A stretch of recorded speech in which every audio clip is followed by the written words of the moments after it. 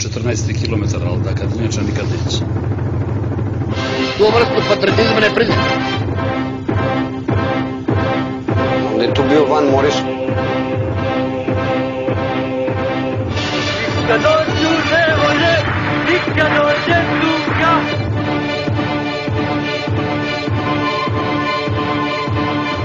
Партида! Има кога да волим, волим партизан.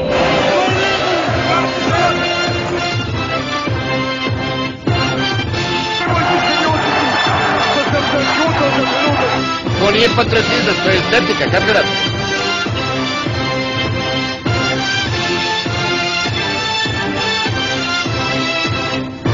Nikad neće. Dobrodošli u još jedan Historical u Historicalu. Ovo je specijalan serijal podcasta koji snimamo u susret Partizanovom 75. rođendanu. Uh, U ovim podcastima se trudimo da kroz arhivski materijal, anegdote i svedočenja obradimo najvažnije nepoznate i neke nepravedno zapostavljene priče iz istorije Futbolskog kluba Partizan. Sa mnom su i ovog puta Aca iz Grova sa bloga Crno-Bela nostalgija. Dobrodošli, momci. Bolje vas našli. Bolje ste našli, dobro večer, pozdrav svima.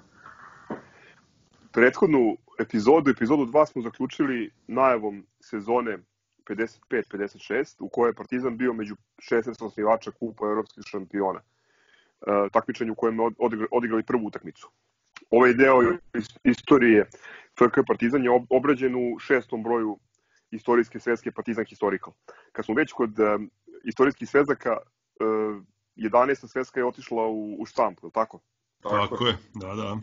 Otišlo u štampu, očekujemo je, danas sam išao u posetu da vidim kako to ide tamo, malo su ovaj, još uvek ne rade punom parom, nego znaš, gledaju na sat kad će kući, kad beže na, ovaj, od policijskog časa, pa otprilike ponedeljak ili utorak će biti spremna za otpremu, slanje i distribuciju dalje.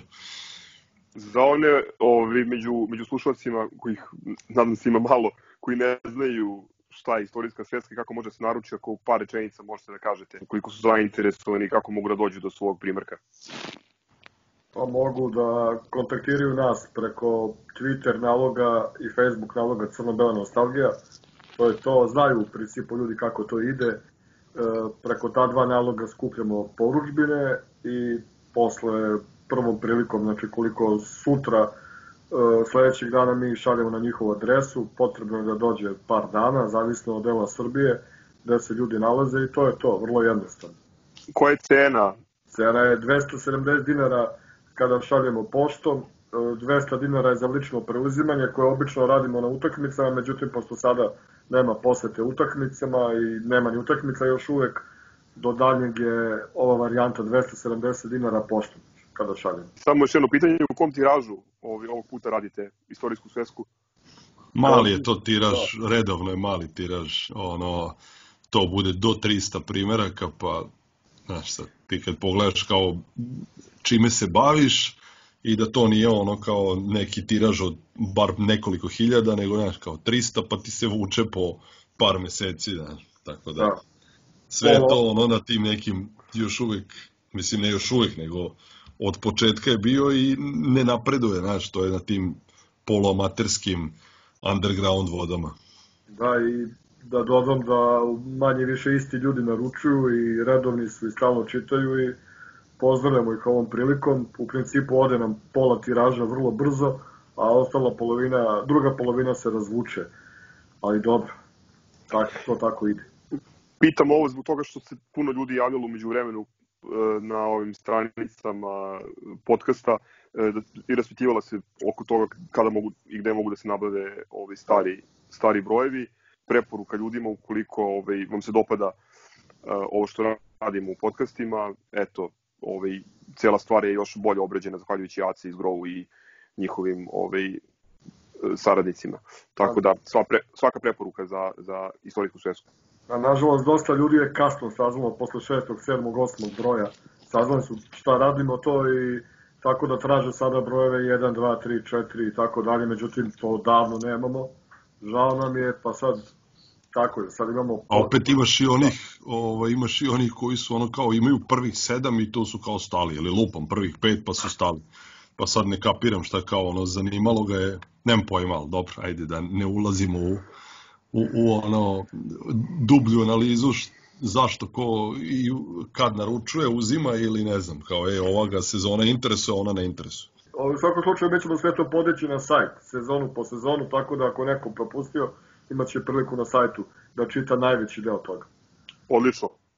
Ovo je bio mali EPP, sad se vraćamo u 50. godine, u tu Partizanovu deceniju bez titule, deceniju fenomenalnih igrača, blistavih, prosljenih pojedinaca, ali nekako nezaokruženog tima, takođe deceniju velikih mečeva i period u kome je Partizan posle u ovoj drugoj polovini 50-ih koji ćemo danas govoriti, zaokružio svoj klubski identitet i dobio crno-bele, crno-bele boje. Da krenemo od sezone 55-56, kao što smo pomenuli, to je sezona u kojoj je pokrenut kup evropskih šampiona, što je bila jedna od prekretnica u istoriji evropskog futbala. Partizan je bio važan deo te velike promene, iako prethodne sezone uopšte nije bio prvak u, u, u Jugoslaviji, prvak je bio Hajduk, o tome smo pričali prošle.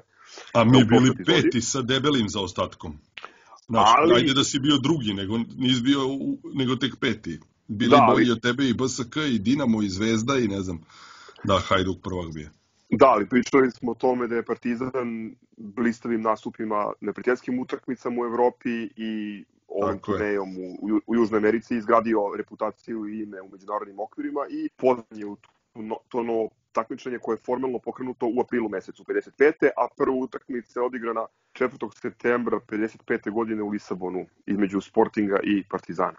Pa ja samo bih dodao oko načina učestvovanja u tom prvom kupu šampiona, treba reći, možda smo to rekli prošli put, ali samo ukratko da ponovimo da čak 9 od ukupno 16 klubova koji su uzeli učešće u prvom kupu šampiona nisu bili prvaci svojih zemalja. Znači, to, osim Partizana, to, je, to su bili Rapid, MTK koji se tada zvao Vereš Lobogo, PSV Eindhoven, Gvardija iz Poljske, Sporting Lisabon, Lisabon Hibernian, e, Servet i Sarbriker. Sarbriker je učestvovao kao predstavnik Sarske oblasti koja se još nije bila e, spojila sa zapadnom Nemačkom u tom periodu. Znači, to su klubovi koji su pozvani, e, način učešća u prvom kupu šampiona je bio takav da je Lekip sa svojim kolegama iz ostalih sportskih redakcija u Evropi uh, hteo da napravi elitno takmičenje, znači nije bio u pitanju uh, plasman, sam plasman na tabeli, nego i neki međunarodni renome koje su te ekipe stekle. Naravno, tu je bilo nekih uh, izmena zato što Chelsea nije bilo dozvoljeno da učestvuje od strane Federacije Engleske, još neki timovi nisu učestvovali, pa je recimo umesto njih ušao drugi predstavnik iz te zemlje, uglavnom one budalaštine kako je Partizan morao po diktatu, ne znam, partije, države da učestvuje, da li je i Rapid učestvovao po diktatu austrijske države ili Sporting iz Lisabona ili ne znam, Servet, e, to, znači, to je jedna velika budalaština, znamo ko je ovaj, servira, ali nema veze. Znači, to je taj prvi kup šampiona. I samo bih rekao da je taj trener bio Aleksandar Tomašević i da ovaj, mala ispravka na sajtu Partizana stoji da je da je Partizan igrao u osmini finala, ne, Partizan je došao do četvrt finala protiv Reala. Ove, tako da bi to, ako neko sluša, da neka to ispravi na zvaničnom sajtu kluba. Eto, ako hoće zbro da se ne doveže sa utakmicama, samo bih rekao da je, da je učešće u kupu šampiona, znači Partizan je klub koji je otvorio kup šampiona i to niko nikad ne može da izbrše.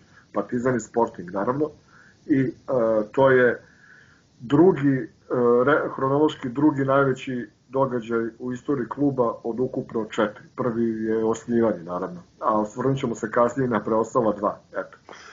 Ako mogu samo da dodam, uh, Aco, apsolutno si u pravu, ovaj, niko ne može da izbiše činjenicu da je Partizan odigrao prvu utakmicu i praktično otvorio keš. Osim toga, uh, jako je bitno naglasiti da je Miloš Milutinović, o kome smo opširno pričali u prethodnom podcastu, uh, bio zvanično najbolji igrač i stelac prvog turnira, dakle prva kopačka Evrope.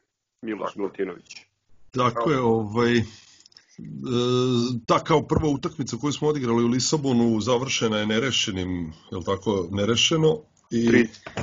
3-3, e, s tim što sam u par izveštaja našao kako je Partizan otprilike odigrao ne s pola gasa, nego su se više bili igrači ono kao usresređeni na derbi protiv Zvezde koji se igrao par dana kasnije, znaš.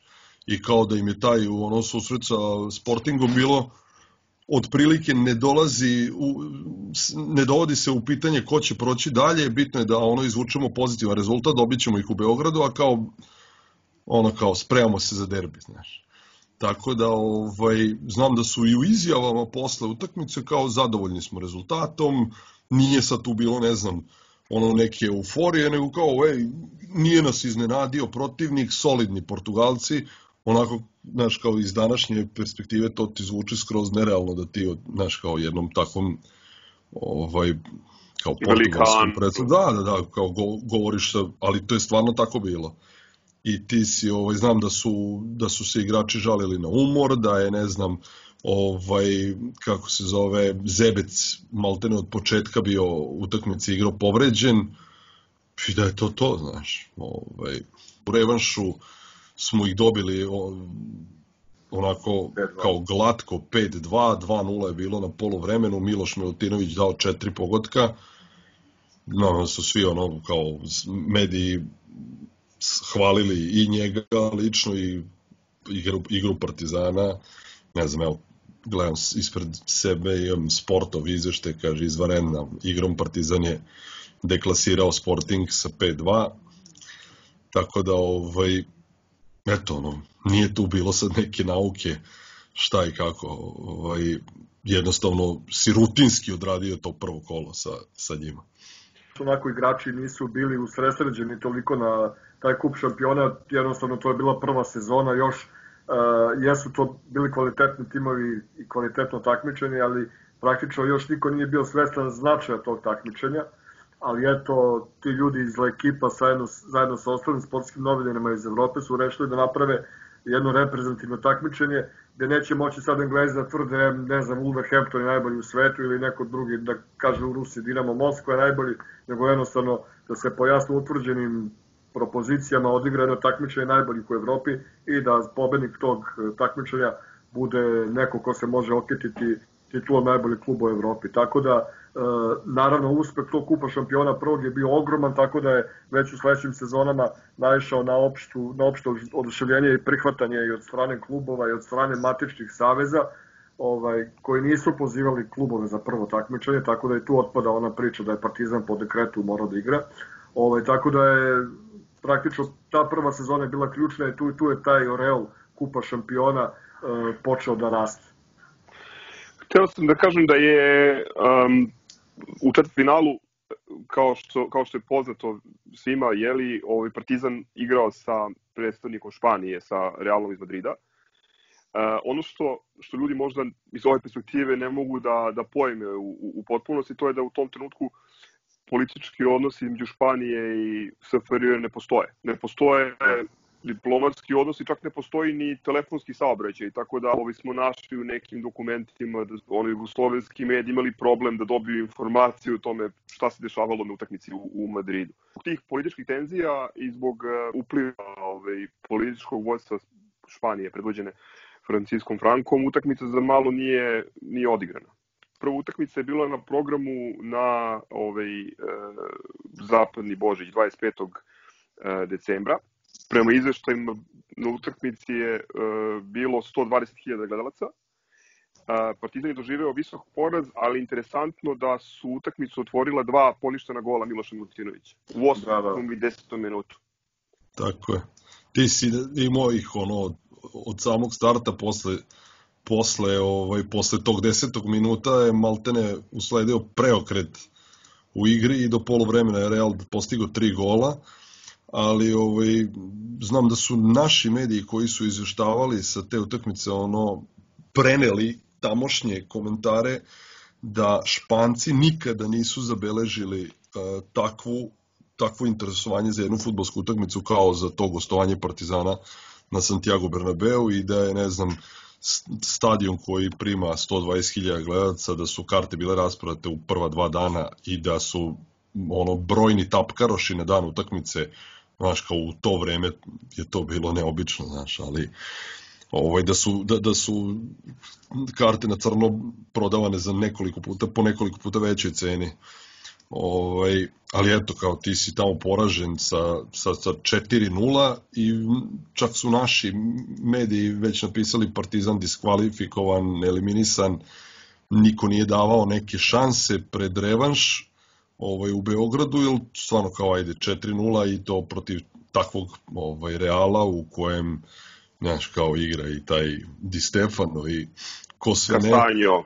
A onda kao taj francuski sudija, kako se već zvao, Harcig, pa ti poništi dva gola i, znaš, u, u kasnijim nekim ovaj, tamo gde smo čitali Memoari, posle memoari tako, Santiago Bernabeu.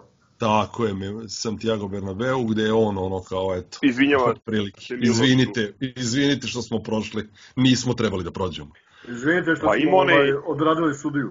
da da ima onaj istočak gde se on eksplicitno izvinjava u memoarima Milošu Milutinoviću na Tako e, je. dva izvanredna, izvanredna gola koji su poništeni. koja su I onda poništene a da ne zna ni on razlog zašto da Da, i onda čuveni revanš na, na ledu na JNA i ona koji je odigran više od ovaj, mesec dana kasnije, jel tako? Ovo je bio Da, da. 25. decembar, ovo je bio 29. januar. Da. To je ona čuvena fotografija sa zavejanog JNA, ovaj, koja malo, malo pa e, se za- zakotrlja na, na, na internetu.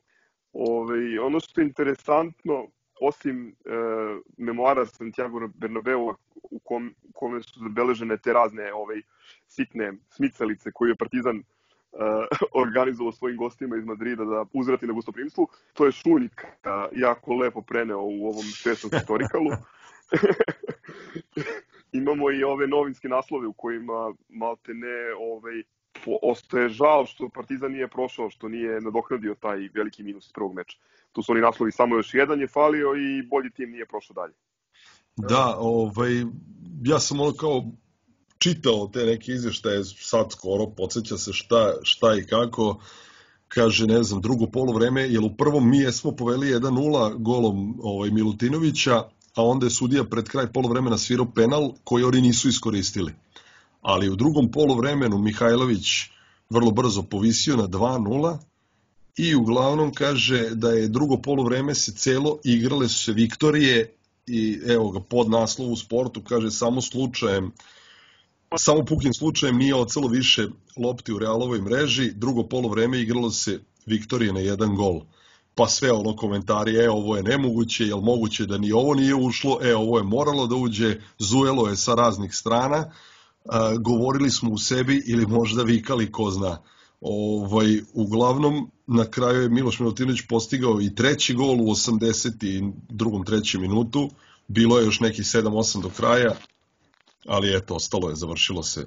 Mislim da je neko pogodio prečku, da li Herceg na tri. Da, da, da, da, da, da. Inače, tada još nisu postojali produžetki, igralo se do 90. minuta i kraj. Razlog. Tako je, tako je. Svuda se ističe kako je odbrana gostiju definitivno kao ono zaslužna za prolazak Reala i ima ona čuvena fotografija, ono je meni jedna od fotografija koja treba da bude bukvalno uramljena svuda, gde Miloš Milutinović ide prema golu protivnika, a jedno sedam igrača u belim dresovima jure za njim. Ovaj, mis, onako, i otprilike vidiš da ga ne stiže niko, znaš, do, dobra je, dobra je fotka. Eto, bolji tim nije prošao dalje, međutim Miloš, kao što smo rekli, najbolji igrač i najbolji strelac prvog turnira Kupa Evropskih šampiona sa osam postignutih golova. U prvenstvu manje uspešno i u kupu značajno manje uspešno, ne kažem neuspešno. Partizan kao branilac kupa samo jedan meč odigrao, to nas je Novi Sad izbacio. Jest, Novi Sad, poraz od 1-0. Eto, ovaj, tako da tu, tu je počela otprilike tradicija da Partizan olako shvata to takmičenje i mislim da je Novi Sad u tom momentu čak bio drugoligaš. Ovaj, tako da je Partizan izgubio od ekipe koje nije smeo da izgubi, ali eto, to je, to je bila ovaj, karakteristika te generacije da su mogli da pobede, eto, Real pobede 3-0, ali izgube od Novog Sada, recimo. Tako da je to bilo baš onako period, period puno oscilacija. Ovaj. E, tako da, što se tiče prvenstva, tu smo završili na drugom mestu iza Crvene zvezde. Rekli smo da je trener bio Aleksandar Tomašević i ovaj, tako da je praktično za tu sezonu je najbitnije to učešće u, u, u kupu šampiona. Treba istaći pobedu 9-0 protiv budućnosti, eto to je jedan onako I pet golova Miloša Milutinovića na tom meču. Da, da, da, da, tako je. Ovaj, I, I dobio si derbi, je tako, taj prolećni 3-1? Jeste, 3-1, 3-1. Pobedili smo Hajduk u Splitu 2-1, znači ja ne znam, ja mislim da su tada u Splitu bolje da im dolazi kolera i kuga nego Partizan. Ja, partizan je tih godina, ja ne znam, znači, ka, samo kad nije hteo, nije pobeđivo Hajduk u Splitu. E, kad se to promenilo, kad je sagrađen polje, da li to je neka druga priča? Dobili smo i Dinamo u Zagrebu 4-2, ako se ne varam, Miloš hat-trick i ocena 10 u, Beograd, u beogradskim medijima. Jeste, jeste. Tri, tri gola je dao i jedan je namestio. Evo ja ću sad, kad si pomenuo taj, ja se izvinjavam, Split i ovaj, utakmici između Partizana i Hajduka. Ja sam, nije me mrzelo, vadio sam da, svih da. 88 ovaj, utakmica koje smo odigrali protiv ovaj, Hajduka i Partizan je jedini od tih, ovaj, da kažem, klubova velike četvorke koji sa Hajdukom ima pozitivan skor i to debelo pozitivan. 41 pobedu smo mi zabeležili, 24 pobede oni, a 23 su bile nerešene. S tim što je zanimljivo da su oni taj svoj kao ovaj saldo pojačali od kako se izgradio Poljud, jer na poljudu smo mi imali samo jednu pobedu i to onu poslednju kad je Đurđević dao dva gola. I kad je Miloš bio trener. I kad je Miloš bio trener, tako je, a Hajduk imao sedam pobeda na poljudu uz četiri nerešene, ali zato na plinari u 32 meča odigrana 12 puta Partizan slavio, 10 puta bilo nerešeno, 10 puta Hajduk. Znači i tamo smo imali ovaj na plinari smo imali bolji skor od, od domaćina, a da ne pričamo Beograd gde je, gde je skor u 44 utakmice bio 28 pobeda, 7 poraza. Znači, tako da je onako ti je Hajduk maltene bio mušterija. redovna mušterija gde god da se igralo. Ja sam ovaj, izdvojio u ovoj sezoni podatak da smo u proseku u prvenstvu NNA imali 19.583 gledalca, što je dosta impresivna poseta. Ova sezona je značajna i po tome što je jedan od najvećih futbalera u Partizanovoj istoriji uopšte, a posebno u toj najranijoj fazi, Zlatko Čajkovski, odnosno Čik, popularni, uh, napustio klub. Mile Kos je jednom prilikom lepo zapisao da je Čajkovski od osnivanja 10 godina branio boje Partizana na najeminentniji način. Našao sam i, i opis jako interesantan Čajkovskog kao uh, malog centar, centarhalfa koji visoko skače. Bio je visok svega 164 cm, igrao je centarhalfa i zadnjeg veznog, uh, eto, čak 55 nastupa za Jugoslaviju, igrao za selekciju Evrope, više puta čak i protiv Engleza 53. godine na Wembley, čuvena utakmica 4-4. Bio najveća zvezda naše turneje po Južnoj Americi, jedan od redkih igrača iz Evrope za koga se znalo u to vreme u Uruguay i Argentini kasnije jedan od velikih ambasadora futbolskog kluba Partizan, e, kao trener, posebno u Nemačkoj, gde je bio pravi nastavljač futbolske filozofije Ilješa Špica. On je, ovaj, za one koji ne znaju, postavio temelje modernog Barna iz Minhena, uveo je u prvi tim golmana Sepa Majera, Franca Beckenbauera i, i, i Gerda Millera i osvojio s Bayernom kup pobednika kupova evropskih. Par trivija za njega, ako može. Reci. Zna se da je imao nadimak Čik, pričalo se da je baš taj nadimak dobio zbog svog niskog rasta, pa je kao, bio kao Čik, kao opušak cigarete koje se zove i Čik. Ovaj, a druga stvar, negde sam isto čuo da je on bio praktično poljskog porekla, što je njegovo prezime govori. I eto, ne znam da li ljudi znaju, iako je rođeni Zagrebčanin, uh, on je na kraju ovaj, posle svoje smrti sahranjen u Beogradu. Da, umre u Mihenu 98. ali je insistirao da ga porodica sahrani u Beogradu. Tako je. Eto, pa možemo da pomenemo u toj godini, u toj sezoni praktično i turneju po Sovjetskom savezu. 55. godine i ona je došla posle, znači posle smrti Staljina, prošli put smo rekli kako su politička dešavanja uticali na futbal, e, pa je Partizan prestao da ide na turneje po Sovjetskom savezu i po istočnoj Evropi, ali kako je Stalin umro, onda su i ti odnosi između uh, tadašnje Jugoslavije i, i ovaj, istočnih zemalja na čelu sa Sovjetskim savezom počeli da se relaksiraju i da otopljavaju i onda je Partizan eto te 55. godine opet otišao u Sovjetski savez gde se susreo, aj pomozite, sa Dinamom iz Kijeva, je tako, i sa Spartakom. Spartakom iz Moskve. Moskva, da. Da, da, pa čuvena slika, ona, uh, Stjepan Bobek i Igor Neto, ja mislim, kapiten Spartaka, da Jest, se na centru. Idemo u sezonu 56-57, sezona koja je ostala upamćena po tome što je Partizan četvrti put osvojio kup Maršala Tita, odnosno kako se tada govorilo najdraži trofej ili trofej u najmasovnijem takmičenju.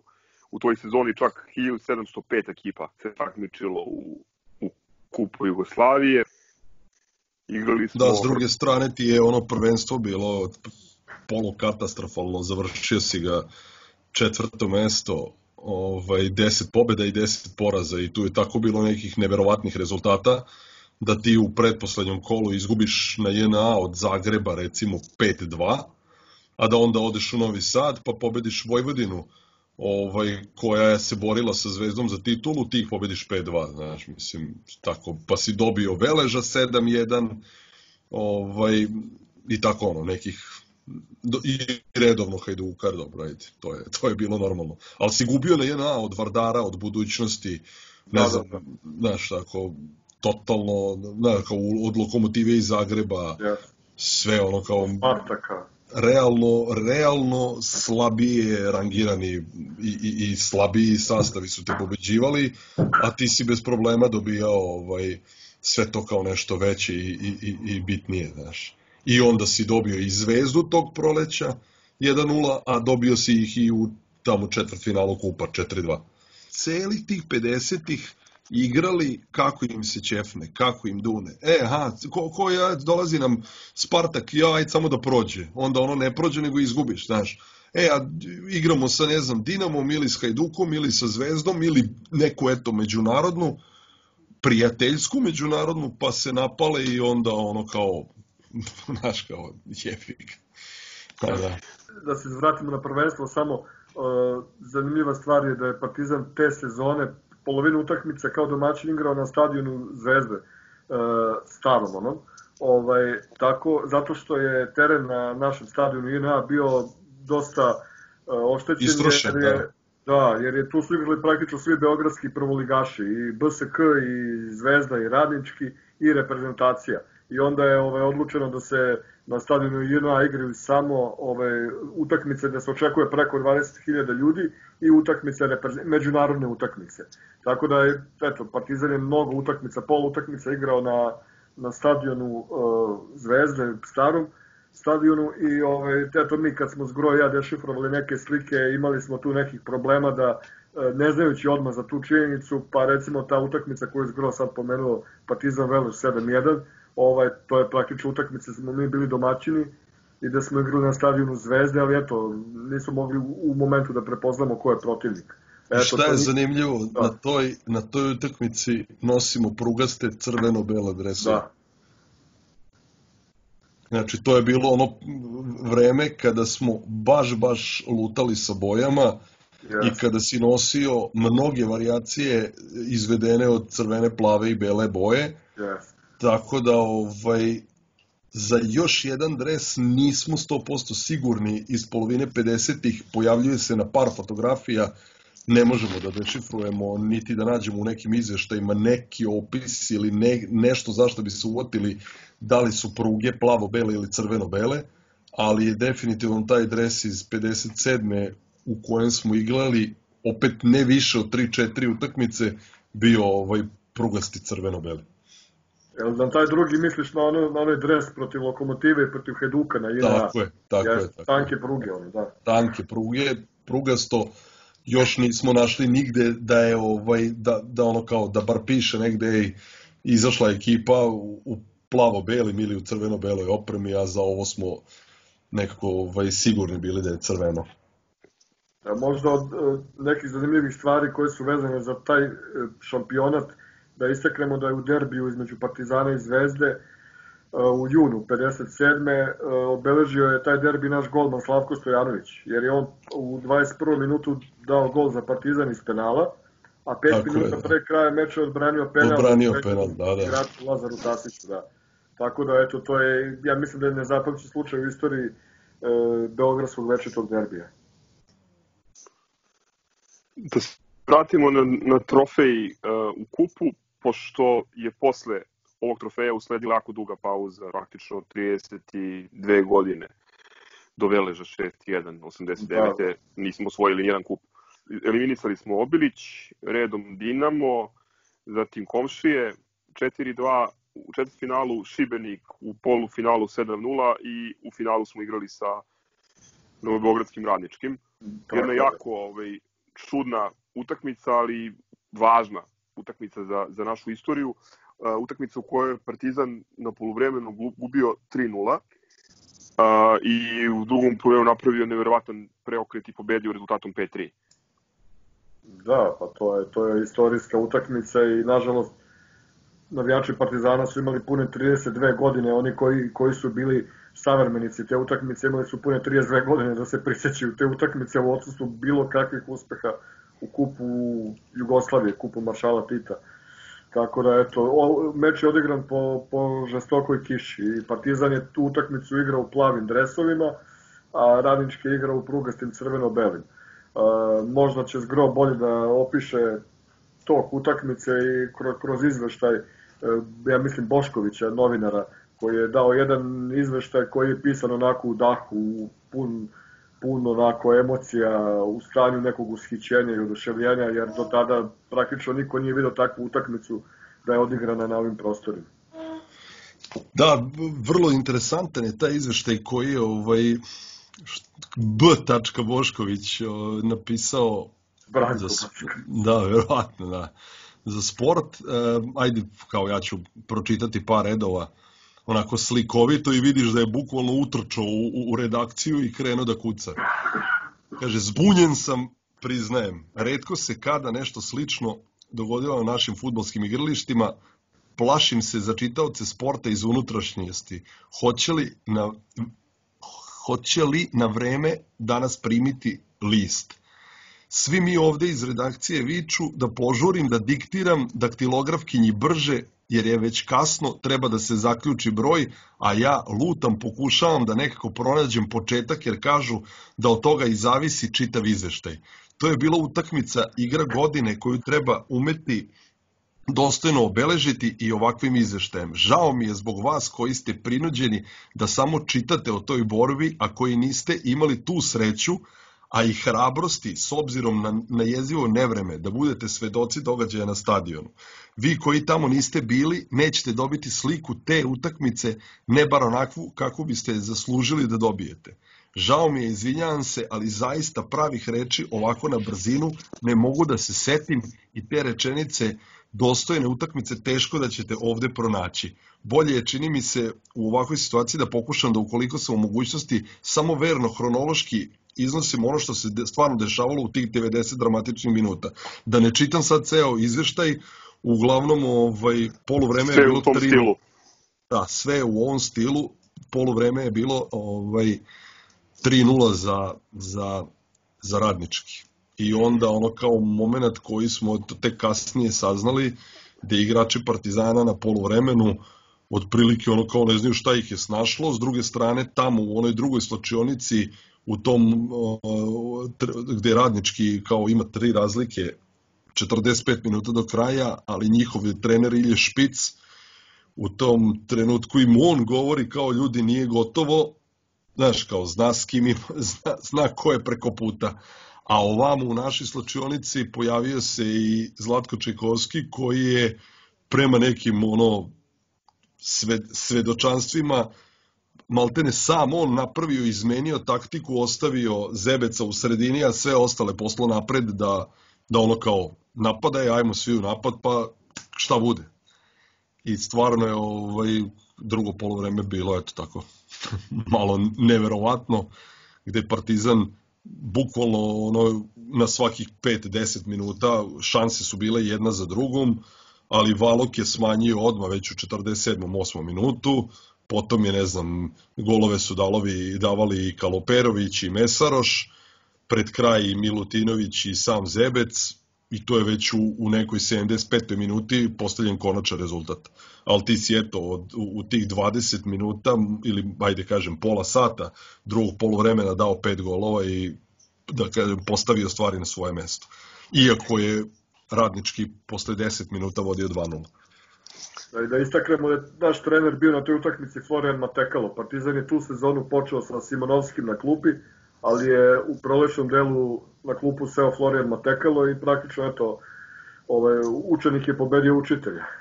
Čovjek Da, koji je postavio temelje e, za partizanove bebe, koji je stvorio partizanove bebe, a on je sve to radio po, e, po kako da kažem, po učenju, po futbolskoj trenerskoj doktrini Ilješa Špica. Eto, sastali su se u tom finalu kupa i Matekalo je ipak na kraju slavio. Zaista jedna utakmica koja je ušla u istoriju domaćeg futbala. smo već kod Beba i Matekala, samo da dodamo da je dva meseca kasnije Partizan osvojio još jedan juniorski šampionat Jugoslavije i to ubedljivije nego ikad. Na 30 utakmica čak 29 pobjeda i samo jedan remi, uz gol razliku 215. Da. To je ona ekipa koja je krenula, pričali smo to u, u prvoj epizodi ovog istorijskog podcasta, kako je kako je Takač organizovao ovaj juniorsku sekciju pri prvom timu. Znači ista ekipa dečaka je krenula od Petlića i Pionira i išla redom, rušila sve pred sobom i u ovom periodu, ako se ne varam, tri sezone za redom bez poraza su igrali i onda kasnije ušli u prvi tim i sve ostalo je istorija. O tome ćemo u sledećoj, u sledećoj epizodi. Sad se izvinjam, ta, to finale kupa što smo dobili 5-3 iz preokreta, ti si protiv Zvezde u četvrtfinalu, ovaj, u 60. minutu gubio 2-1. A i onda si od 70. do 80. u tih 10 postigao 3 gola i pobedio 4-2 i naslov u sportu takođe je bio drugačije nije moglo gde bukvalno je ono kao opisano da je utakmica mogla da se završi rezultatom 7-2 recimo 8-2 i to sve u tih po, poslednjih pola sata znaš koliko je Partizan i iz tih nekih izveštaja stičeš utisak kao ej kad se zaintače ajmo da damo 7 golova daće 7 golova. Da, da pomenemo tu još jednog igrača, pored ovih asova za koje svi znamo, Stojanovića, Belina, Miloša Milutinovića, Kaloperovića, Valoka i tako dalje, da pomenemo jednog igrača koji je dao ogroman doprinos te sezone, ali eto, nažalost, zaboravljen je njega redko ko pominje. On je, nažalost, preminuo nedavno, pre, ja mislim, godinu ili dve, e, Mihajl Mesaroš. On je dao, Tako i je. gol, dao je gol Zvezdi u četvrt finalu, Tako je, tako je. a dao je gol u i u finalu. finalu Tako je, radničkom iz Beograda. I među, mislim da je njega je povreda posle sprečilo da nešto više postigne, mada je dosta postigao, čovjek je ušao u istoriju kluba ovaj, i zaista veoma, veoma bitan igrač u to vreme, ali eto nikad se nije okitio slavom koju su imali njegovi sa, saigrači, e, poput Bobeka, Miloša i ostalih. Hvala Aco na tome, posetio si me sada poslednjih detalja iz sezone 56-57 koju sam želeo da, da istaknem, to je gostovanje u Nemačkoj i uh, velika, pomalo zaboravljena pobjeda protiv Borussia iz Dortmunda u Dortmundu 4-1, uh, gde su 50.000 gledalaca strelci bili upravo Mesaroš, Borozan, Valok i, i Miloš. Uh, inače, ono što je jako važno ovde istaći je da je to ekipa Borusije koja je te sezone osvojila svoju drugu titulu prvaka Nemačke. prosto je neverovatno kako si ti bez problema odlazio na gostovanja u ozbiljne futbalske zemlje gde si, eto tako, odeš u Francusku, pobediš koga, ko, kogod ti se nađe na putu. Da si u to vreme 50-ih po Nemačkoj išao dosta i redovno pobeđivao, da li je to Stuttgart bio ili Keln ili, Borussia iz ovaj, ili kogod, bukvalno je bilo, ne znam, odigraš 3-4 utakmice na, na, na nekoj mini turneji, ti od 4 dobiješ 3, znaš, tako da, eto, još jedna činjenica koja ide u prilog tome da koliko je Partizan bio imao ozbiljan, ozbiljan skup igrača na, na, na, kao u, u isto vreme u, u svom sastavu. Te sezone se dešavalo i nešto van terena, ali je bitno za život kluba. Tada se razbuktao i mm, na kraju završen rat između dve struje u upravi, jer u upravi osim određenog broja vojnih lica, iako je Partizan formalno prestao da bude e, vojni klub, e, policijska ta struja, udbaška da kažemo, na čelu sa tim Srbom Savićem, kojeg smo pominjali kad smo pričali o Milošu Milutinoviću, ta struja je poražena i morala je da kupi prnje i da ide u OFK Beograd, odnosno u BSK koji se spojio sa Šumadijom i od njega je te 56. 7. početkom 57. nastao OFK Beograd. Znači, OFK Beograd ne da nema veze sa BSK-om iz 1911. nego je to praktično novi klub nastao 1957. Eto, to je jedna pikanterija koja je možda bitna za, za tu sezonu. Stigli smo do sezone 57-58, uoči koje je Miloš Mutinović eto, otišao u Nemačku, o tome smo pričali u prethodnoj epizodi podcasta. Čak 13 juniora Partizana dolazi na prag prvog tima i Partizan dobija e, trenera stranca, u pitanju je doktor Geza Kaločaj iz Mađarske. Geza Kaločaj je bio čovek koji je, e, možemo ga smatrati prvim strancem na klupi Partizana. Zanimljiva stvar, nastupao čak za dve reprezentacije, a, za reprezentaciju Čekoslovačke pre drugog svjetskog rata i za Mađarsku. Čovek umro inače 2008. godine u 95. godine života. Te sezone, da, nazranje mu bilo. Te sezone Partizan je bio drugi u šampionatu iza Dinama, a u kupu je stigao do polufinala gde su nas eliminisali komši rezultatom 2-3. Interesantno je da se te godine taj kup je maltene odigran u sledećoj sezoni, to polufinale jer je kup za tu ovaj sezonu 57-58 počeo još utakmicama 16. finala u novembru, gde smo pobedili Timoka 1-0, pa si, ne znam, u februaru savladao prilepsku pobedu s nekim velikim rezultatom od 11-0. Da. Tako je, i posle samo nedelju dana si pobedio i Zagrebu, Zagrebu 3-1 i onda nije ovaj, zbog svetskog prvenstva te godine koje se održavalo u Švedskoj iz gusnutog rasporeda žurilo se da se završi ovaj prvenstvo i nisu uspeli da nađu dva termina kako bi se odigralo polufinale i finale kupa, pa je finale, ovaj, polufinale protiv Crvene zvezde odigrano tek u oktobru 58. Znači, maltene ono, debelo već je zagazilo u sledeću sezonu, gde smo poraženi od Crvene zvezde 3-2. A, ono što je to karakteristično za tu za tu sezonu 57-58 kad je u pitanju e, domaći šampionat e, sve negde do polovine marta bio si onako da kažemo ozbiljan, ozbiljan konkurent i kandidat za titulu. Sa Dinamom si se e, nekako naj, najveća klackalica je bila sa njima. Hajduka si pobedio 5-1. Derbi je završen nerešeno 2-2 i onda ovaj 30. marta 58. gubimo u Zagrebu 1-0 što je bukvalno ono kao eto gde je Dinamo se odlepio na nedostižnih 6-7 bodova. Mi smo i sledeću utakmicu protiv Vojvodine u, u, u Beogradu na našem stadionu izgubili sa ono neverovatnih 5-1 što je dugo, dugo godina bio najveći poraz na stadionu i na sve do one 76. Ovaj, Tako da, da, da smo se u ta dva, ono, bukvalno u par dana, marta i aprila, oprostili od titule i na kraju smo ovaj, zauzeli drugo mesto iza Dinama i ispali kasnije u oktobru ka, ovaj, te godine u polufinalu Kupa. Zanimljivo je još reći da je Partizan učestvovao u prvom kolu ovaj Mitropa kupa, srednje evropskog kupa ili kako se je zvao, pošto je menjao par puta naziv te godine se zvao Dunavski kup, igrali smo protiv Tatrana, poraženi smo ukupnom, ovaj, ukupnim rezultatom 6-5, e, prvu utakmicu smo dobili 4-2, revanš smo izgubili tamo e, u Prešovu sa 4-1, interesantno je da je ta prva utakmica odigrana u Kragujevcu, igrana je 25. maja, stadion je bio ono, zna se šta je ovaj, za dan, dan mladosti. Tako da ovaj, smo eto sad, zašto je pala odluka da se ode van Beograda, nisam našao neki podatak, ali samo je kao ono, igrali u Kragujevcu i pobedili. Pa to je jedina sezona u kojoj se Mitropa kup zvao Dunavski kup. To je isto kuriozitet. Ovo, ovaj, hteo sam da pomenem da je ona nova mlada ekipa Partizana koju smo, koju smo već pominjali i ove sezone bila apsolutno dominantna i ove, rušila je sve pred sobom i ponovo je osvojila titul omlinskog prvaka Jugoslavije. u finalu je pobeđena Crvena zvezda ukupnim rezultatom 9-0. Eto, ovaj, u kojoj meri su, su mladinci koje je predvodio Čika Conja, Matekalo bili dominantni. Evo, samo da pročitam imena nekih omladinaca iz te generacije, bit će vam jasno zbog čega ih pominjemo.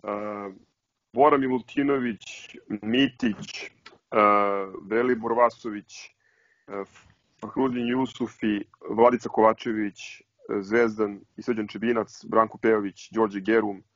Tako je Milutinović mlađi, je tako? Da. Ovaj, kako se da, Jovanović je igrao nazad i ono kao u toj drugoj utakmici su ih dobio, u stvari ne, u prvoj je bilo 7-0, u drugoj 2-0. Ovaj, naslov u sportu je onako velikim boldovano, samo piše do nogu. Baš tako. Ove, ovo je možda dobra prilika da kažemo još par reči o Florinu Matekalu i Čikaconji. E, njega smo pominjali više puta u, u, u ovim prethodnim epizodama, ali ajde ovaj, malo da se osvrnemo na, na celokupni lik i delo. On, on se sma, smatra za jednog od utemeljivača Partizanove futbolske i trenerske škole. Bio je član prve generacije našeg kluba i strelac onog prvog prvenstvenog gola ovaj, za Partizan, ali je zbog e, urođene srčane mane rano prekinuo igračku karijeru i postao trener. A, ponovo se vratio u klub 50. godine i bio je Špicov prvi pomoćnik i vodio je drugi tim Partizana. Potom je, ovaj, kad je formirana omladinska ekipa, od 52. bio trener juniora i otvoj, osvojio je, kao što smo već pomenuli, tri uzastopne juniorska prvenstva Jugoslavije i smatra se za učitelja i utemeljivača naše najuspešnije generacije koja je početkom 60-ih uzela prvi triling titula i posle stigla i do finala Kupa šampiona u, u, u Briselu. Aca je pomenuo već da je on vodio ekipu koja je uzela četvrti kup Jugoslavije. I Cojom Matekalo se nekako uvek vraća u Partizan. E, našao sam podatak da je vodio juniore, neku juniorsku ekipu sa ne znam da li u svojstvu trenera ili nekog konsultanta ili kako se to već tad zvalo, stručnog saradnika, čak i krajem, sredinom i krajem 80-ih. Tako da recimo ovaj, Saša Ilić i Veljko Punović su kod njega napravili prve futbolske korake u, u, u klubu. Znači, prosto neverovatno jedan čovek koji je, eto, bio na ovaj, ovaj način prisutno u Partizanu od, njegov, od njegovih početaka pa do, do eto, 80. godine. Ono što je meni zanimljivo sad, evo dok gledam ove izveštaje sa tog finala ovaj, omladinaca protiv komšija, izveštaj potpisuje Rajko Mitić. Je li tako? Da, da, da. Izveštaj potpisuje Rajko Mitić. Posle revanša, kaže, juniori Partizana osvojili su prvo mesto prošlom pobedom od 7-0 je mlada ekipa Partizana trebala juče samo zvanično da utvrdi mesto jer se malo pretpostavljalo da posle onakvog rezultata tim Crvene zvezde ima šta da traži. Tako je bilo, mladinci Partizana ne samo što su održali prednost, već su je povećali, pobeda je zaslužena, mada nije došla kao rezultat neke naporne igre, već bukvalno sa pola snage. Takvu igru dale su i obe ekipe, Partizan je bukvalno rutinski pobedio Zvezdu 2-0, e, meni su kao zanimljive da su mladinci Partizana te sezone i u to vreme nosili onu garnituru River Platinu, belu da, da, da. sa crvenom dijagonalom i grbom na, na, ovaj, na srcu i da su bili prepoznatljivi da su te druga polovina 50-ih omladinske ovaj, te stvari mlađe kategorije Partizana nosile te dresove. To je sezona u kojoj je Partizan nosio bele dresove. A, hoćeš par rečenica o, o, o tom interesantnom detalju? Može, pošto svi misle, i mi smo tako mislili u početku, da je Partizan sa crveno-plavih prešao direktno na crno-bele boje, međutim to nije tačno. Tako i pada u vodu ona priča jel, da je nasilno promenjena boja iz tobože srpskih crveno-plavih u crno-bele fašističke, jel, taj budalaštine. Znači, Partizan je prvo, e, moram da napravim jedan mali uvod, Partizan je bio najbolje je organizovan klub u tom periodu i ljudi koji su vodili Partizan, taj sportski sektor pre svega, mislim recimo na Artura Takača i te ljude oko njega, e, to su ljudi koji su vodili računa o, ne samo o stručnom radu i o ekipi i o terenu, nego i o mnogim stvarima van terena po kojima se videlo da je Partizan velik, veliki klub. Tako da je Partizan od uvijek imao, na primjer, svog fotografa koji je beležio i slikao svaku utakmicu. Partizan je bio klub koji je nosio grb na 98% utakmica, ja mislim. Znači, pazilo se na sve te detalje koji daju sliku u jednom velikom klubu. Uh, E, tako da su ti ljudi u Partizanu promišljali, što reče Zgro malo pre, e, bukvalno menjali smo razne, sve moguće kombinacije između crvene, plave i bele boje, koje su bile praktično naše klubske boje. E, I onda e, ljudi su jednostavno, e, koji su vodili klub, ljudi su shvatili da, da Partizan nema svoj vizualni identitet i da je to nešto što nedostaje velikom klubu. I onda su prvo odlučili u februaru 58. znači na polovini te sezone da Partizan postane beli. Evo ja ću pročitati jedan kratak e, članak iz sportskog vesnika, to je list Partizanovog sportskog društva, to je preteča Partizanovog vesnika, to je broj 11 iz februara 1958. Naslov je Beli Beli. Usvojeno je da Partizanovi klubovi i ekipe imaju belu boju dresa. Već podavno je bilo mnogo predloga da se jedna boja uzme kao osnovna za sportsko društvo Partizan. Pošto u Beogradu radnički ima crvenu boju, BSK plavu, Zvezda mahom crveno-belu, to je Partizan uzeo belu boju. I za navijače je to mnogo pogodnije. Njihova podrška moći će da bude efikasnija i zvučnija. Beli, beli. U tom istom broju, da se ne dovežem, u tom istom broju sportskog vesnika ima jedan članak o Vukeliću koji treba da dođe u Partizan i naslov je Vukelić uskoro beli 9. E, tako da je Partizan praktično igrao u, u belim dresovima i plavim e, šorcevima i ovaj, međutim to je potrajalo eto, praktično godinu dana onda se videlo da Partizan praktično jeste jedinstven po toj boji u Beogradu, ali to nije bila neka atraktiv, atraktivna kombinacija boja i onda će za godinu dana doći do definitivne e, promene i trajne promene klubskih boja, ali to, o tome ćemo kad dođemo u tu sezonu. Uglavnom, eto, vredi zabeležiti da je Partizan sa crveno-plave boje prešao na belu boju dresa u februaru 1958. To je prva promena klubskih boja. Hoćemo li u ovom trenutku da pomenemo i misteriju zvanu Lampaš? Pa evo kad Gro kaže bolje o tome.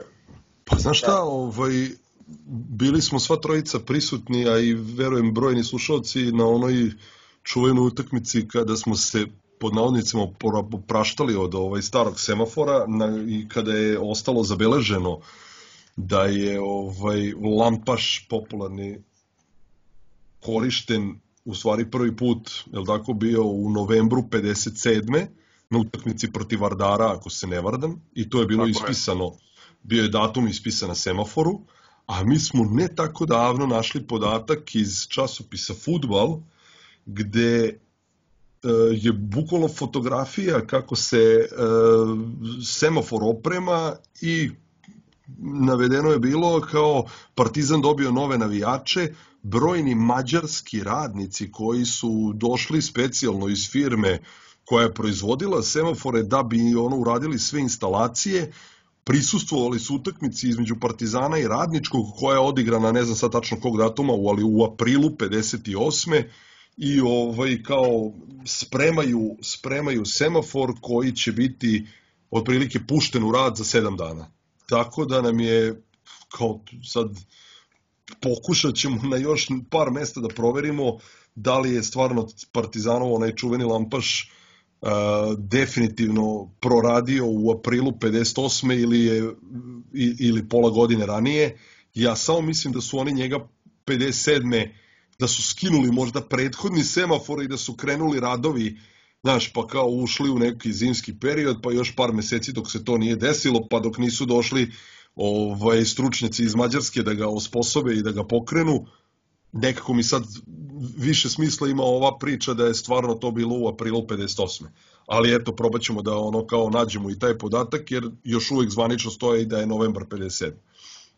Da. Stručnjaci mađarske firme video to. Tako je, da. Naš drugar, znamo ga svi, pozdravljamo ga ovom prilikom, Dragan, uh, on je svojevremeno imao kontakt, poznavao je čoveka koji je dužio taj semafor na stadionu Partizana. Znači, bukvalno čovek koji je ono, dužio taj semafor kao u firmi, recimo kad se nabavi neka mašina, pa Marko Marković duži mašinu, e, tako je taj čovek vodio računa decenijama o Partizanovom semaforu. Znaš kakav Tek... posao iz snova, brate, da si pa, semaforčija. Da, da, da. E, Možemo se raspitati i za ime. Rekao mi je ime svoje vremena, da, da. zaboravio sam. Ništa, prelazimo u sezonu 58-59, po više osnova jako važna, važna sezona, sezona u kojoj uh, su Partizan napustila dva velikana. našeg kluba Stjepan Bobek i Marko Valok, sezona u kojoj je Partizan zvanično dobio crno-bele klubske boje, sezona u kojoj je počeo da je Partizan vesnik. Uh, eto nekoliko važnih priča, ćemo da krenemo od dresova. Tu postoji ovaj miks mitologije, laži, malo romantike, Yes, pominje yes. Da, već smo sad rekli da je Partizan 58. februar prešao sa crveno-plavih boja na zvanične bele, međutim, e, to se zadržalo samo godinu dana. E, e, To je po meni treći najbitniji događaj u istoriji kluba hronološki. Znači, prvo je bilo osnivanje, drugi je bio otvaranje Kupa šampiona u utakmici protiv Sportinga i po meni ovo je treći najbitniji događaj u istoriji kluba zato, po redosledu, zato što je tada Partizan dobio sadašnji vizual identitet i jednostavno dobio je boju uh, sa kojim je ceo klub poistovećen. Znači, rekli smo da je Partizan pre toga nosio belo, pa crveno, plavo, ali to jednostavno nisu bile atraktivne boje. Sa ovom novom cr crno-belom bojom Partizan je praktično počeo da privlači još više navijača. Uh, kako je došlo do toga? Tako što je Partizan igrao u Vijaređu na čuvenom omlenskom turniru i sada postoje čak i razne priče bivših futbolera iz tog doba da je Partizan navodno igrao sa Juventusom, da je ovaj Juventus dao dresove Partizanu kao ne znam neku vrstu zahvalnosti za dobre igre. Međutim iz Gro ja smo tražili pregledali sve utakmice, apsolutno nigde nismo našli da odigrana utakmica Partizana i Juventusa u tom periodu. Jedino što smo našli to je bio Juventus i Sao Paulo. to je, ali to je bilo 1953. pa smo čak mislili da je možda to neki bio to bio neki okidač koji je doneo Partizanu crno-belu boju, međutim uspeli smo čak dok, da kontaktiramo i ljude koji imaju neki blog uh, Juventusa i Sao Paulo, navijači i to je u stvari klub koji je m, specifičan zato što ima dobio ime po Juventusu iz Torina, a klubske boje uzeo od njegovog gradskog rivala Torina i nose bordu boju, nikada nisu nosili crno-bele dresove.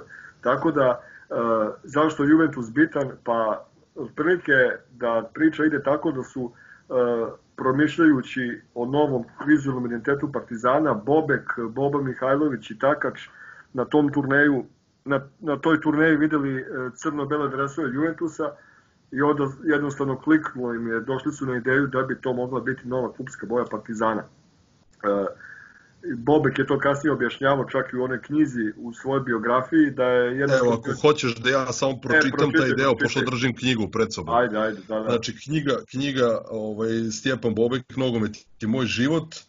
Kaže Partizan je stalno menjao boju dresova, nekad su to bili beli, nekad plavi, nekad pola plavi, pola crveni, slično Barceloni. Bilo koje boje da su bili, u pranju bi sve to postalo mrljavo, jer u prvoj deceniji posle drugog svetskog rata oprema sportistima predstavljala je priličan problem. Dresovi su bili od lošeg materijala, a boje vrlo nepostojane. Već posle nekoliko pranja bilo je teško ustanoviti kakvih je boja bio dres kada je bio nov. Bobeku je to smetalo, a sam je objasnio i zašto. Ja priznajem da sam od detinstva, pa i celog života bio kicoš. Od uvek sam želeo da se lepo oblačim i da izgledam uredno. To sam želeo i na samom terenu. Ja sam recimo sam svoje kopačke glancao po nekoliko puta dok ne izađem na teren da dobiju visoki sjaj, iako sam znao da će i pre nego što su ubija dune u pištaljku već biti umazane blatom. Ali sam ih uvek iznova dovodio u stanje punog sjaja. Pa onda svi su imali crne pertle, a ja sam uvek nabavljao bele. I njih sam redovno prao, jer mi se sviđala ta kombinacija crnog i belog. Kada je počelo uveliko da se priča da je Partizan spreman da izabere jednu boju ili jednu kombinaciju boja, predložio sam da to bude crno-belo, što je početkom 59. i usvojeno. Tako da evo, sam Bobek je u, u, u knjizi koju je Freddy Kramer napisao o njemu dok je on još bio živ, ovaj, najslikovitije opisao da je on, on stoji iza toga da smo kad i kako smo postali crno-beli. Ima tu i onaj, ono, onaj deo svedočenja Artura Takača, uh, koji je tad bio podpredsednik jednoj sekretar kluba i praktično sijeva eminencija, kako su uh, on, Bobek i, i, i Bob Mihajlović da. išli, išli na umku u ove se Zelengora zove više i ne znam kako se zove ona ona firma. Evo evo ja mogu dopustite mi molim da pročitam kratak članak koji je nastao nekoliko meseci kasnije, to je e, iz Partizanovog vesnika, znači tada je Partizan je, samo da kažemo, Partizan je prvi put obukao crno-beli dres u utakmici protiv e, utakmici Kupa Jugoslavije protiv borca iz Titograda. To je bio tim garnizona Jugoslovenske narodne armije. Partizan je pobedio 1-0, a čas da postigne prvi gol u crno-belom dresu imao je Milan Vukelić. Uh, sedam dana kasnije, 15. marta, Partizan je uh, u prvenstvu obukao prvi put crno-beli dres protiv Vojvodine. Partizan je pobedio 2-0, a oba gola uh, je postigao Branislav Mihajlović. Znači, Vukelić je bio prvi strelac u novom dresu u kupu, a Branislav Mihajlović u prvenstvu. I samo bih sad završio sa ovim člankom.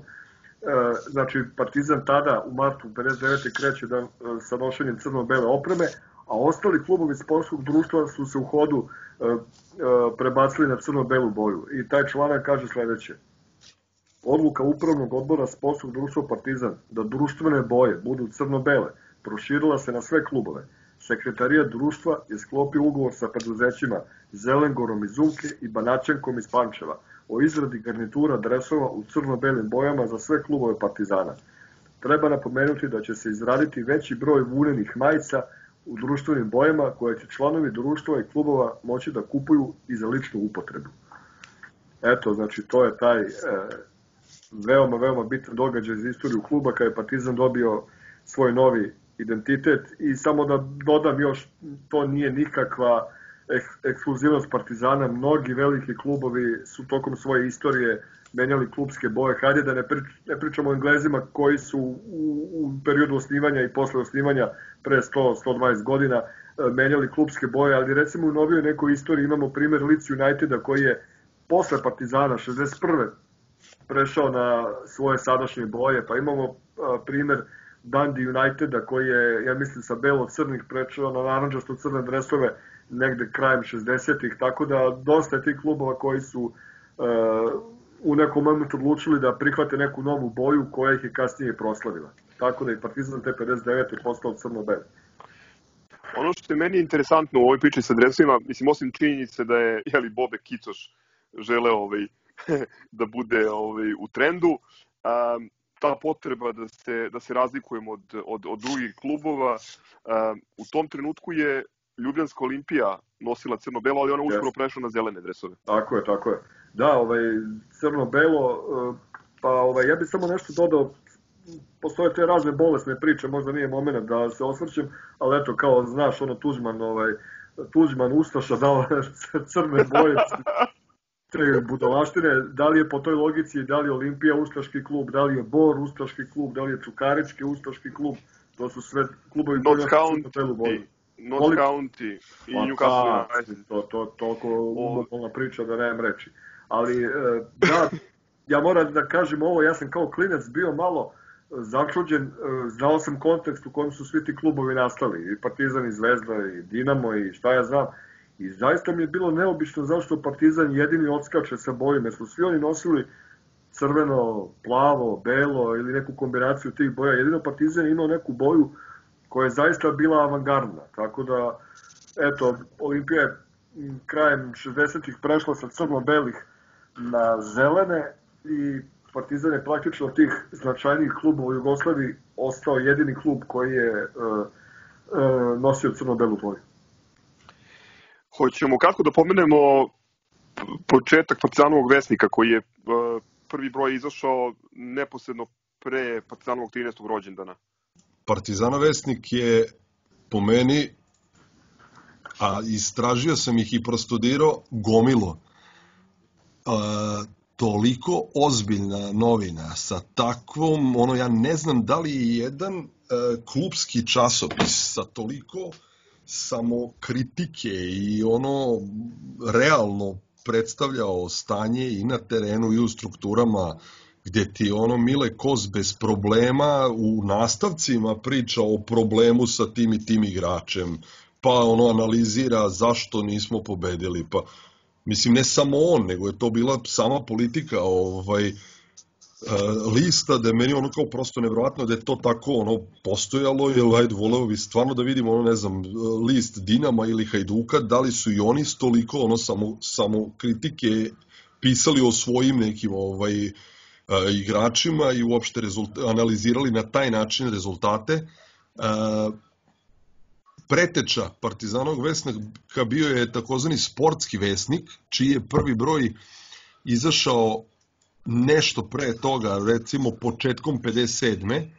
Mislim da je u februaru 57. izašao prvi broj i taj list bukvalno je izlazio tih godinu ili godinu i po dana dok se nije pojavio Partizanov vesnik koji je znači definitivno počeo da izlazi prvi broj nešto par dana pre rođendana gde je na naslovnoj strani tog rođendana 58. gde je na naslovnoj strani kaže ovim brojem nastavljamo da izdajemo list naših sportskog ovaj kolektiva sportsko društvo Partizan je počeo od 1951. godine s kraćim prekidama prouzrokovanim mahom teškom teškoćama finansijske prirode stalno imalo svoj list tako da Partizanov vesnik predstavlja u stvari njegov produžetak samo pod novim imenom Partizan je veliko sportsko društvo koje u 17 kluba okuplja oko 3000 aktivnih sportista i oko 12.000 pomažućih članova i sada da ne čitam dalje, uglavnom, znači, eto, od 51. si ti imao neki list ko, koji je ono izlazio sporadično, povremeno, uh, sa nekim pauzama, prekidima i uglavnom, eto, Partizano Vesnik od 58. od oktobra počeo je da izlazi kao ovaj kao zvanično glasilo kluba. Evo, Zgro je pomenuo Partizanov Vesnik. E, ja bih samo dodao, kad je u pitanju Partizanov Vesnik, to je bio najbolji klubski sportski časopis na najlošijem papiru. Ove, e, što se tiče Vesnika, e, u trećem broju Partizanog Vesnika objavljen je jedan ovako baš žestoko kritički tekst o Branku Zebecu. Branko Zebec je na toj polusezoni 58-59. otišao u, Crvenu zvezdu. Ovaj, ne znam zašto ga niko od zvezdinih ljudi navijača ne pominje kao njegovog kao njenog člana i vrlo isteknutog člana koji je tamo osvajao i trofeje, ali dobro, to je njihova stvar, ali ovaj, Zebec se neslavno oprostio od Partizana. I tako da je tu u tom broju vesnika taj slučaj Branko Zebec bio glavna tema. Evo, citiram, kaže, ono što nije uradio ni jedan član Partizana, niti jedan od 30 kapitena prve i druge lige učinio je upravo kapiten Partizana Branko Zebec. On je mimo kontakta sa svojom upravom i u Beogradskom futbolskom savezu najavio odlazak iz kluba i o tome dao izjavu štampanim medijima. Drugih nije ni bilo inače čime je delovao diametralno suprotno od obaveze koju ima kao igrač i pre svega kapiten jednog kluba. Poznato je i po FK Partizan teška činjenica da je Zebec odbio da nastupi na meču protiv Splita kada se od Partizanovog dresa opraštao Stjepan Bobek. Konačno, u nizu nedopustivih postupaka, on pred predsednikom kluba i u prisustvu igrača prvog i omladinskog tima izjavio da će za Partizan odigrati još kup utakmicu u Kragovicu i da posle toga klub više ne računa na njega. Branko Zebec se neslavno oprostio od kluba, bilo je tu dosta gorčine i teških reči između njega i Partizana, ali naravno ne možemo izbrsati sve ono što je on dao uh, za Partizan kao klub i njegovu igračku veličinu. Kad smo već rekli Zebec, Zebec i Bobek su bili otprilike rogovi u vreći, to, to je bio sukob dve sujete, i Zebec je odbio znači da igra na tom oproštaju e, Bobeka od Partizana. To je praktično prvi oproštaj pa, e, Bobeka od Partizana. To je bilo e, u sezoni 1957-58 kada je Partizan u aprilu igrao protiv Splita. Pomalo, ne pomalo, nego vrlo nedostojan oproštaj kluba od Bobeka zato što je to bio meč protiv ipak skromnijeg protivnika pred relativno malim brojem gledalaca, oko 15.000 ako se ne varam, po lošem vremenu Međutim, e, klub je odlučio da u narodnoj sezoni u septembru 58. znači to je sezona 58-59. klub je odlučio da vrati Bobeka. I Bobek je odigrao uh, posle te utakmice, ja mislim još pet utakmica, zaključio sa derbijem protiv Crvene zvezde, koji je Partizan izgubio 2-0, to je 23. derbi po redu, i uh, to je bila posljednja utakmica uh, Stjepana Bobeka u Partizanu. Eto, Bobek nije dočekao da da ponese crno-beli dres u, u svojim e, takmičarskim nastupima. Uradio to kasnije igrajući za veterane partiza, Partizana, ali to je već nešto drugo. E, dakle, tu mi praktično imamo smenu generacija. Zebec je otišao u Zvezdu, Bobek je uh, na kraju kalendarske 58. odnosno polusezone 58-59 uh, prestao sa karijerom aktivnog futbolera, a Marko Valok se oprostio u februaru 1958.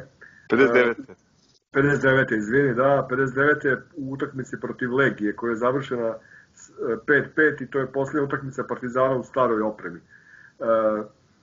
Eto, znači ti, ti velikani Partizana i jugoslovenskog futbola su silazili sa scene uz ogradu da je Zebec nastavio karijeru u Zvezdi, a na scenu su nastupale, na scenu su stupale partizanove bebe. E, posetimo se da su sezonu ranije e, prvi u vatru ubačeni e, Minutin Šoškić, Fahrudin Jusufi i e, Jovan, odnosno Zoran Miladinović, kako su ga zvali. A evo u ovoj sezoni e, i ostatak e, tih partizanovih beba je e, ušao u seniorsku ekipu, to su bili, bili Miroslav Rede, koji je kasnije se preselio u Zagreb, Ilija Mitić, e, Vladica Kovačević, Velibor Vasović, Zvezdan Čebinac i Dragoslav Jovanović. Neće svi oni ostati do, do finala Kupa šampiona. Naravno, ekipa je posle, znamo svi, e, pojačana sa pridošlicama iz drugih klubova. Uglavnom, ovaj, to je, to je, bila, e, to je bila sezona kada je definitivno urađena ta smera generacija. Ja bih samo dodao jednu pikanteriju za Fahrudija Jusufija, E, sad kad smo se posvećali ovih sezona i ovih rezultata, našao sam jedan, jednu fotografiju uh, tih partizanovih beba u omladinskoj kategoriji, pravo prezime Fahrudina Jusufija je Jusuf. I našli smo čak jednu fotografiju gde su potpisani svi ti igrači, ne znam, Kovačević, Vasović, Šoškić i piše Jusuf. Znači, to je bilo njegovo prezime, uh, on je Goranac bio poreklom, međutim, greškom je u nekim klubskim dokumentima bilo uh, oštampano Jusufi i on je to prihvatio i onda je za vijek i vjekova ostalo Fahrudin Jusufi. Ove sezone su nam komšije ozbiljno ostale dužne, ove, dobili su nas u finalu kupa 3-1, a titulu su nam uzeli zbog bolje go razlike. Ove, da. mi, jesmo, mi jesmo u finišu sezone e, njih jurili i imali su tada veliki 7 bodova prednosti. Međutim, interesantno je ovaj, kak, u, u kakvom su ritmu oni odigrali to, to svoje zvezdino proleći 59. godine. Znaš kako, ovaj, ovu jesenju polusezonu smo mi zaostajali onako poprilično, Vojvodina im je bila najveći i najbliži pratilac. E, mi smo tu jesen poraženi od Vojvodine, pa poraženi od Sarajeva, pa doživeli debakl u, Mostaru, izgubili 6-2 od e, Veleža, pa izgubili derbi 2-0, bukvalno nisi, izgubio si i u Zagrebu 4-1, nisi imao zašto se uvotiš osim tradicionalno po, pobede na plinari ovaj 1-0 u Splitu i onda kreće ta ovaj proleće 59. u prvi put u crno-beloj opremi gde ti od 11 utakmica 9 pobeđuješ, igraš samo dve nerešeno uh, i to pobeđuješ i Zvezdu kao formalno ovaj kao gost, dobijaš i Hajduka i Dinama i Vojvodinu koja je ovaj do kraja samog bila u, u, se borila sa sa nama i sa sa Zvezdom za šampionsku titulu i na kraju, eto, ko što si rekao, Zvezda prva, mi drugi, Vojvodina treća, mi oni sa po 31 bodom, Vojvodina 30, Zvezda je onako pukla i od Hajduka u Splitu 4-1, ali je to poslednje kolo bilo vrlo zanimljivo. Mi jesmo pobedili radnički beogradski kao i tu smo bili kao formalno a, kako se kaže, gosti, ali smo pobedili 2-1, ali ta pobeda nam nije ništa značila, pošto je e, Zvezda imala neuporedivo bolju go razliku od nas i na kraju im je trebala bukvalno ono minimalna pobeda nad Veležom da bi bili ovaj šampioni. E sad ono što je e, zanimljivo par dana nakon te poslednje utakmice gde je ovaj Zvezda kao zvanično prvak kaže pot predsednik Veleža, evo čitam iz sporta, četvrtak 25. juni 59. Adil Bjedić izjavljuje da je sudija Stanešić pristrasno vodio nedeljnu utakmicu njegovog tima s Crvenom zvezdom i da je Velež uložio zvanično žalbu zbog grubih materijalnih povreda pravila igre. Ja bih pročito par ovaj, zanimljivih detalja jer eto, ono kao nevjerovatno kako to izgledalo i onda, kaže, ovaj, između ostalog, odmah u početku igre pre postignutog gola očigledno se videlo i osetilo da je Boža Stanišić naklonjen crveno-belima, tolerisao je prekršaje domaćih futbolera, a prema igračima Veleža bio je vrlo rigorozan. Sudio je uopšte na štetu Veleža i donosio suprotne i čudne odluke. Najtežu grešku napravio je kada je priznao prvi gol Crvene zvezde koji je postignut posle grubog faula nad našim golmanom Žarkom Barbarićem. Tom prilikom centar navale zvezde Ivan Popović udario je Barbarića šakom u levu zlepočnicu, usled čega se Barbarić onesvestio i dobio potres mozga. Kad se to dogodilo, pomoćni sudija davao je znak za prekršaj, ali Božo Stanišić nije hteo da uvaži njegovu intervenciju. Nakon lekarske pomoći, posle 5 minuta nastavljena igra, Barbarić je posle dva minuta ponovo pao i prevežen je u bolnicu gde i dan danas leži. Utvrđeno je da je dobio ozbiljan potres mozga, ali je ovaj gol Crvene zvezde bio prisut, ovaj, priznat i to su bili presudni ovaj momenti za čitav tok me, ovaj, meča. Ne samo to, pa sad nastavlja dalje ovaj, u tekstu, kaže Anišić u više nahova donosio veoma čudne odluke na štetu Veleža na 0-0 Kostić je poslao loptu koja je udarila u mrežu sa spoljne strane, Stanišić je dosudio gol koji je na intervenciju pomoćnika poništio. Tako da ovaj, bilo je bukvalno ono kao že na kraju razgovora Bjedić je dodao ovako suđenje dovodi do vrlo nezgodnih situacija na terenu i uopšte loših odnosa između klubova, tako da eto Crvena zvezda je zahvaljujući treba tamo da ubeleže ime sudije Bože Stanišića u klubske ovaj vitrine. Bore se pošteno. njemu, tako je. Za Bore se vele, pošteno. Tako je, da. Pobedili su Veleža u poslednjem kolu 3-2 i za, na bolju go razliku osvojili titulu. Ja bih samo završio ovaj priču o ovoj sezoni uh, podatkom da, da je naš juniorski tim o kome smo već dosta govorili u ovoj epizodi stupio na 11 trofeju Jaređa i uh, osvojio je drugo mesto. Uh, izgubili su u finalu od ekipe Milana rezultatom 2-1, ali eto još jedan značajan uspeh naših omladinaca koji su u tom trenutku već tri godine neporaženi uh, na jugoslovenskim terenima. Ulazimo u poslednju sezonu koju ćemo obraditi u, u ovoj epizodi podcasta, to je sezona 59-60, prva sezona koju smo kompletno odigrali u crno-beloj matičnoj opremi, sezona u kojoj smo osvojili treće mesto u prvenstvu iza komšija i, i, i, i Zagrebčana. Um, u kupu smo izgubili u finalu Dinama isto, ali zanimljivo da smo te sezone uh, komšije izbacili u prvom kolu, to na penale. Pa... Tako je, da, ta, i to smo imali, jel tako to je u decembru bilo nerešeno 2-2, da je poslednji penal, čini mi se, pucao ovaj, Milutin Šoškić i da smo ih ovaj, izbacili 6-5. Ovaj, ali si onda eto kao išao korak po korak i na kraju si poražen od Dinama u, u finalu sa 3-2. To su nam bile dve uzastopne godine, 59. i 60. da smo došli do finala i da smo oba puta ovaj poklekli u finalu. Od te 60. boga mi treba će nam dobrih 19 godina do sledećeg finala i još jednog poraza, ako se ne varam sad ovako na, na, na prvu iz glave, jel? da smo tek tako, 79. naredni put tako. stigli do finala. To je ovaj, Rijeka ona. Tako je, Rijeka u dvomeču nas je ovaj, savladala 2-1 Rijeci 0-0 u Beogradu.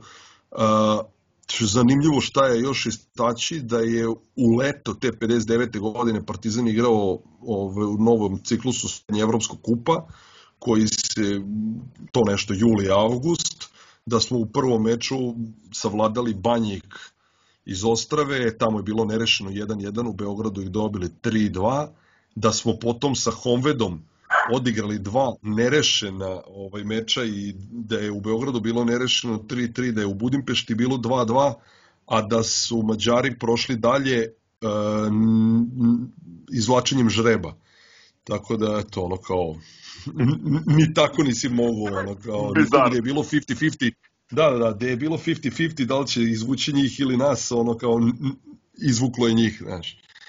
Ovaj, kad si rekao, izvini što se ubacujem, kad si rekao Mitropa Kup i utakmica, utakmica sa Banjikom, uh, iz tog perioda uh, seže ona uh, čuvena slika uh, čitava ekipa Partizana, tu je Ilja Špic i uh, osunčana onako strana stadiona iza se vidi tribina, dugo smo tragali šta je u pitanju i to je utakmica protiv Banjika na tom stadionu koji se zvao Bazali ili Bazali, ne znam kako se to kaže na češkom.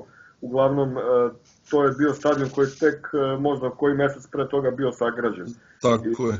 Crno-beli dres, beli šorc i bele čarape veoma, veoma lepa slika. U brojnim klubskim zvaničnim ovaj, ono, dokumentima i monografija fotografija stajala kao fotografija kao prvi put Partizan u crno-belom. Da, da, što nije tako. Nema veze sa životom. Da, a bilo je pola godine ranije. Da. Da, tačno to. Ovaj. Ja, ja bih se samo nadovezao jednu vrlo bitnu stvar da kažem za kraj i ove sezone, a i ovog perioda koji obrađujemo. Uh, kad pričamo, kad slušamo one one e, kako je Partizan bio protežiran klub, pazite sad, od, od prvog prvenstva 1946. 47. do kraja ove decenije, znači do 1960. godine, Crvena zvezda ima e, šest titula prvaka. Partizan ima samo ovaj dve. Dinamo ima tri, Hajduk ima tri. I o čemu mi dalje da pričamo, ko je bio protežiran, a ko nije. Pa kako je to protežiran klub koji je gurala vojska, armija, Tito, partija, kako je čekao 12 godina na titulu. Evo, samo neka, to je najprostija ona logika. Znači, ne treba ništa više dodati, samo treba pogledati statistiku iz tih perioda, a Zgro je malo predao ovaj, upečatljiv primer kako su sudije ovaj, i lopte koje su završavali u spoljem delu mreže sudile kao golove za naše, naših rivala, tako da mislim da ova statistika od šest titula Zvezde od 46. 7. do 1960. I, i, i samo dve titule Partizana sve govori. Molim čunaš da, da, da. Šeste, ne, koju je Terzić osvojio, a ovaj, ono što je za mene još bitnije od same statistike je činjenica da ovih 50. godina mi nismo uzeli njenu titulu, a imali smo apsolutno najkvalitetniju selekciju i u Tako smislu da pojedinaca i u smislu mladih igrača koji su prolazili kroz Partizanovu školu i kucali na, na, na, na vrata prvog tima. Kad se pogleda, mislim, apsolutno najbolje pojedince ovaj, ono, u, ne u jugoslovenskom, nego u širem evropskom formatu ima Partizan.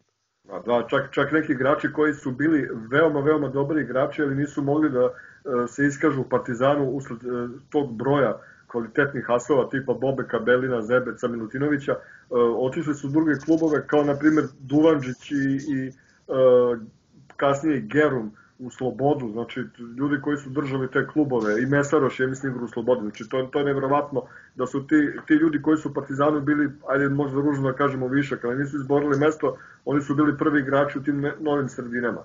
Definitivno, znači taj period 50. godina Partizan je imao najjače moguće pojedince, ali nije bio ono u glavi sa sobom, nije imao tim i možemo da pričamo sad šta hoćemo, da nagađamo zašto si pobeđivao i Zvezdu i Dinamo i Hejduka, gubio od Vardara i Real Madrid. Slobode, jel tako? I Real Madrid, tako je.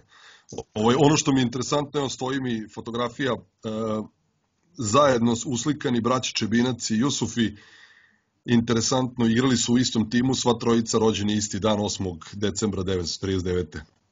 Nažalost, od njih je u životu samo još Srđan Čebinac koji danas živi na relaciji Rijeka Švajcarska. Za kraj samo još jedan podatak ono koji je teška egzotika. Partizan je ove sezone ovaj, odigrao i uh, mini turneju međunarodnu u Izraelu ovaj, što je onako bilo dosta inovativno, imajući u vidu ovaj, i, i, i status izraelskog futbala i politička zbivanja u tom delu sveta. Uh, vrlo je moguće da je razlog bio boravak uh, Zlatka Čakovskog koji je svoju poslednju sezonu kao profesionalac odigrao u Hapoelu iz Haifa. Da. I te 960. je tako, na kraju šampionata odigrali smo i prijateljsku utakmicu sa Juventusom, ovim pravim, ovaj Torinsk, ja. to, iz Torina, to je kao bila u stvari prva zvanična utakmica nas i, i Juventusa i italijani su tada, ono kao Juventus je i tada bio šampion Italije, zvao Partizan na neku tu kao revijalnu utakmicu, utakmica završena nerešeno 1-1, Galić je bio strelac i kaže ovaj, da je Partizan apsolutno bio bolji u tom meču, ali eto, to je tako. Sjajan trenutak da ovaj, zaključimo treću epizodu podcasta Historikalu Histerikalu.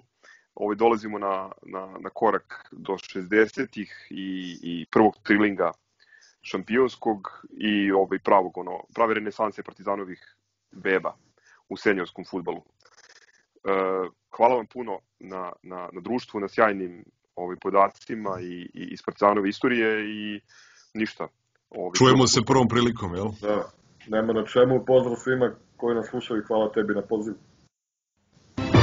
Nikad neće.